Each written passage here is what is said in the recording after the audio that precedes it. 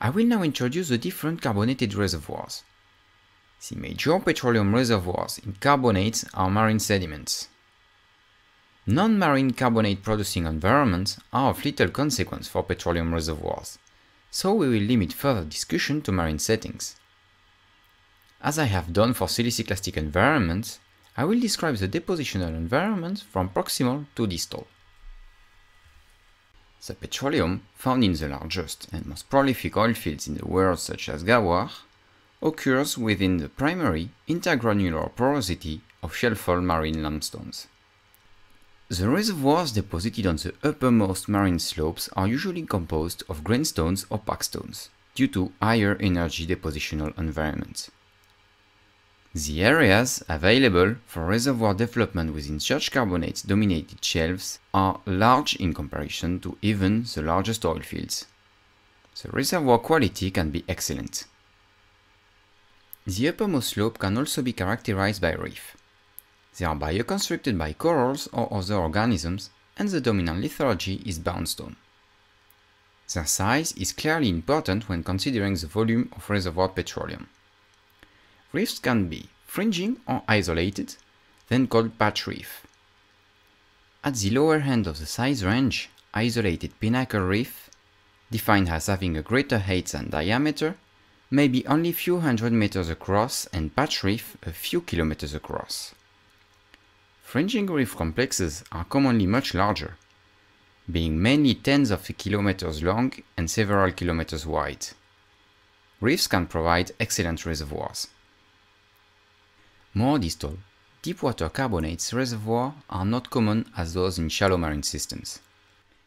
However, there are few examples for which deepwater carbonates form major reservoirs. The deepwater carbonates are deposited into two main depositional environments. Carbonated submarine fans, which are the carbonate equivalent of clastic submarine fan systems. They are formed of detritus shed from platform carbonates into deep water chalks. It comprises skeletal debris of the nanoplanktonic coccolithospheres, which can be highly porous, but commonly permeability is low due to the small pore throat size. The description of the depositional settings of carbonate reservoirs has been done. However, the discussion about carbonate reservoir is incomplete.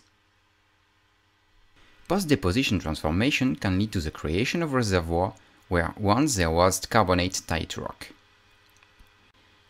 Dolomitic reservoirs are carbonated rocks composed at least of 50% of dolomite. Prospective dolomites are secondary dolomites, which means they have been generated by the replacement of calcite by dolomite during a post-deposition process. They have porosity ranges from 8 to 23% and permeability up to 2 darcies. Karstified limestone and dolomite represent the second major group of carbonate reservoir not directly linked to depositional environment. Karst is a product of mineral dissolution. It develops where carbonates are exposed to meteoric water. Karst fissures are caves, collapse breccias, dissolution-enhanced joints, fractures, and vugs. The presence of karst does not guarantee a petroleum reservoir the karstic surface may not survive reburial. A reservoir can also be fractured. Open fractures contribute in a variety of ways to both the viability and performance of a reservoir. A fracture system may contain all the pore volume for the reservoir or provide permeability for a porous reservoir. Fractures, by generating connection between pores, enhance the permeability of an already permeable reservoir.